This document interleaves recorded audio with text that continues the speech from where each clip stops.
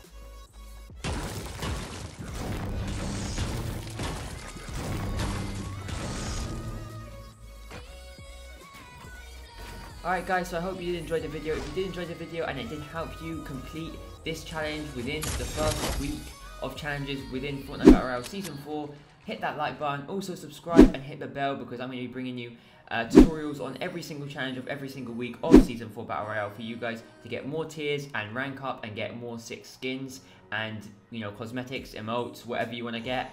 So yeah, do them things that I told you before and you'll be able to know how to do the challenges every single week.